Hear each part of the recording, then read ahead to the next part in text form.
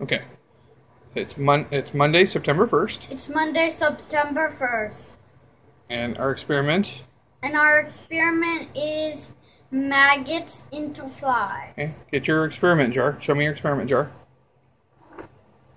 And the maggots have already dug in, in into into the Cornmeal. cornmeal and they're about to hatch Pu- Pupate. into pupas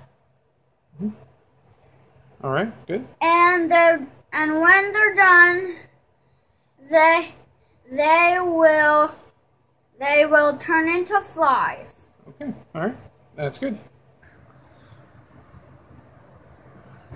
that that's the one maggot that didn't dig into the soil And how many do we start with?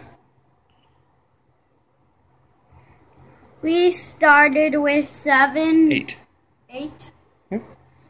and now one is just roaming on the top Okay. Yep, there you go. He dug in.